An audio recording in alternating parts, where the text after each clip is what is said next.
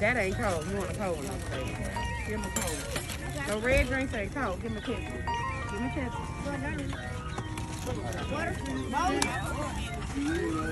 our bones. Water drink our bones. How do you guys feel about the the Who Better Than Us Feed the Homeless movement?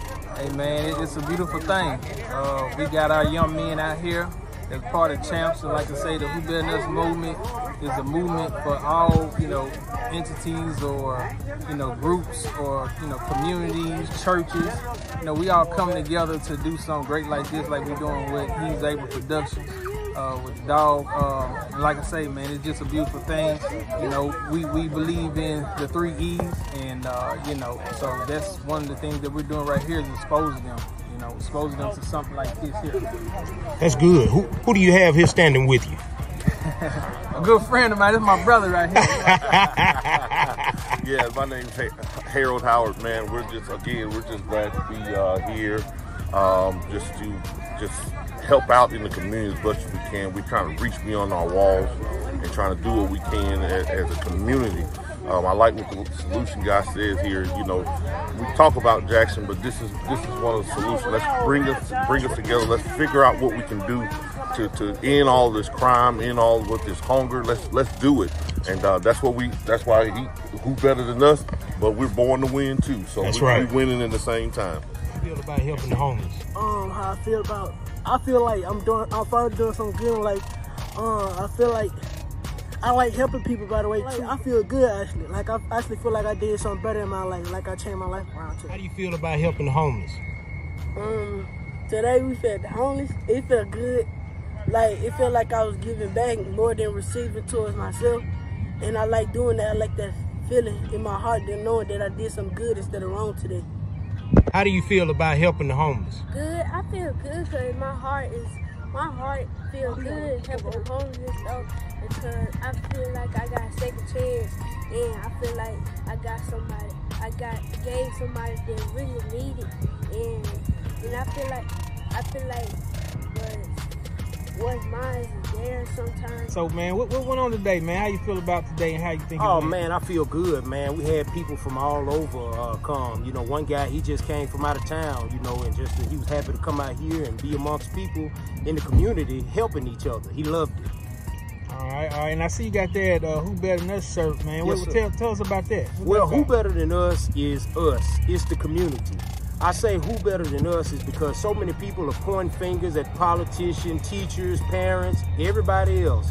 Well, we point the finger back at us and saying who better than us to help ourselves. But uh, I told him we we come out of retirement. Cause see, I work for the public school, so I know how to talk to these kids. And talking to the kids is one thing that you change the mindset, you can change them. You give them a different outlook on life by I going know to it. different I places know. with them. Like we already got a, a tour set up from Malaco Studios. This young man went in there with me. He eyes were like, I was going to the boss's office. Yeah, yeah. Big man. And I was told, I was told all I got to do, all right, all I got to do is make a phone call and uh, the tour is set up. So we gonna get with we gonna get with the, we gonna get with the uh, Perkins Center kids. They got a little camp starting Monday at the Perkins Center. So we gonna get with their kids. Probably take about thirty some kids over there where they can go up and down. and I go like. Even though, even though they don't know nothing about the blues, but they'll realize this is where TLC, but they think TLC recorded it, but TLC didn't record that. Mm. They own the studio that TLC recorded that in Atlanta. But when you walk up in there, the eyes gonna light up. Cause anytime old cat like eyes light up like, I gotta take pictures of this. I done passed by a hundred times.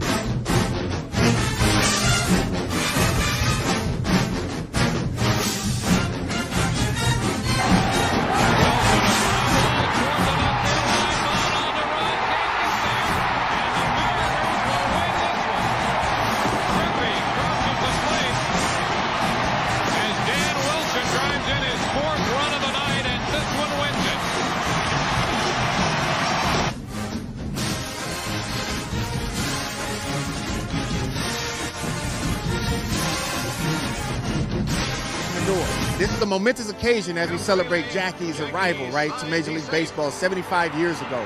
But it also came at an expense, right? It came at the expense of Negro Leagues, beginning to get dismantled because all the talent was siphoned, right, to play Major League Baseball. So while it was a great opportunity, it took away the ecosystem that was created for African Americans down south when we had the Negro Leagues. And eventually, we're now trying to really find a way to increase that access to African Americans in baseball. 場、コーヒ